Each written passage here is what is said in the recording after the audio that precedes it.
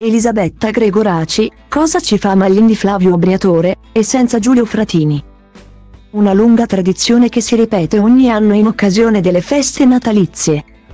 Elisabetta Gregoraci è volata a Malindi per trascorrere qualche giorno di relax in compagnia di suo figlio Nathan Falco e del suo ex marito Flavio Briatore, con il quale ha mantenuto un ottimo rapporto nonostante l'amore sia finito ormai da tempo.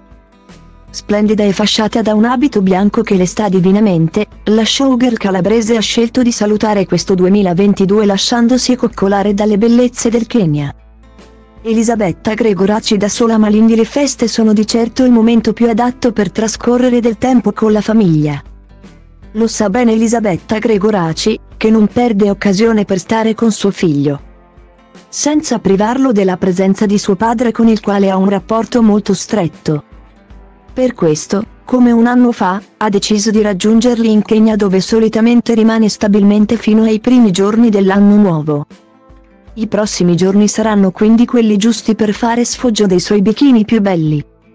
Ha già iniziato con un costume verde dalle note leggermente animaliere che ha iniziato a mostrare nelle sue storie di Instagram.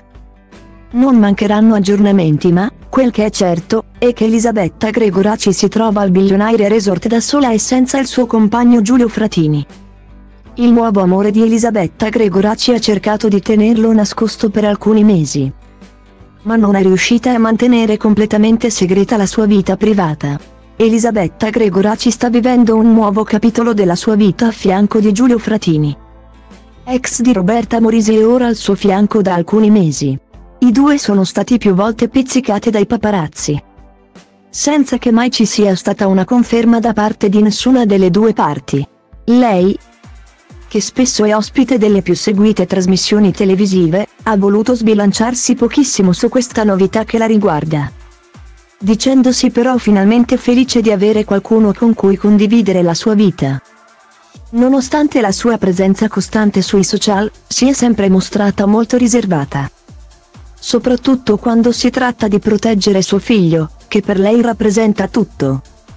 Il rapporto con Flavio Briatore sono rimasti uniti per il bene del loro figlio ma anche perché nutrono ancora un forte sentimento l'uno per l'altra. L'amore è un lontano ricordo, ma Elisabetta Gregoraci e Flavio Briatore continuano a essere una famiglia. A chi sperava in un ritorno di fiamma hanno risposto in maniera chiara, non potrà mai esserci qualcosa di diverso da quello che stanno vivendo in questi anni che sono seguiti alla separazione. Lei aveva già provato a voltare pagina prima di Giulio Fratini con Francesco Pettuzzi. I motivi della loro rottura non sono mai stati svelati, se non in un'intervista rilasciata al settimanale di più e nella quale lui aveva parlato anche della sua esperienza al grande fratello VIP nella casa di Cinecittà, poi, aveva stretto una bellissima e intensa amicizia con Pierpaolo Pretelli. Oggi legato all'influencer nonché ex vippona Giulia Salemi. Dopo l'esperienza all'interno del programma.